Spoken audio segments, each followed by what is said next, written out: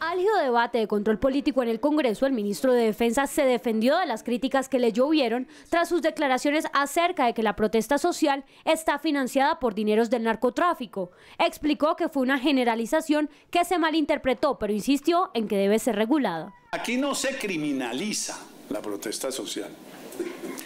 Aquí lo que hay que es que criminalizar a aquellas personas que se insertan en la protesta social y que hace que ésta pierda su esencia, que pierda esa condición de diálogo, que se vuelva una protesta agresiva. El ministro además le salió al paso a las críticas sobre el gasto en defensa, señalando que ya no se destinará más de un billón de pesos en la compra de un sistema de defensa antiaérea como se...